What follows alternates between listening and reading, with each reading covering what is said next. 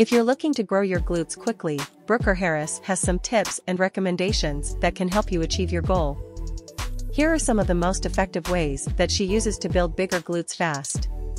Incorporate compound exercises. Compound exercises like squats, deadlifts, and lunges are excellent for building bigger glutes as they target multiple muscle groups, including your glutes. Aim to do at least 2 to 3 compound exercises per workout. Use heavy weights. Lifting heavy weights is essential for building muscle mass. Make sure to challenge yourself by gradually increasing the weight you lift as your strength improves. Train your glutes frequently. To see significant results, you'll need to train your glutes at least 2 to 3 times a week. Incorporate a variety of exercises that target different areas of your glutes. Incorporate glute activation exercises. Incorporating glute activation exercises before your workout can help activate your glutes and ensure they're firing properly during your workout. Examples of glute activation exercises include glute bridges, clams, and banded walks.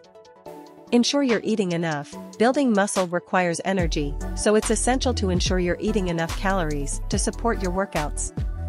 Aim to eat a balanced diet that includes plenty of protein, carbohydrates, and healthy fats. Get enough rest, rest and recovery are essential for muscle growth. Make sure to get enough sleep and take rest days to allow your muscles time to recover and grow. Consistency is key, building muscle takes time and consistency. Make sure to stick to your workout plan and remain consistent with your diet and exercise routine to see the best results. By following these tips and recommendations, you can build bigger glutes fast and achieve your desired results.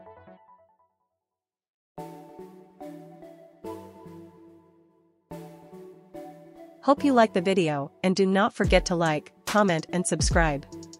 And remember, fitness is a journey, not a destination. Stay motivated, stay consistent, and don't give up on your goals.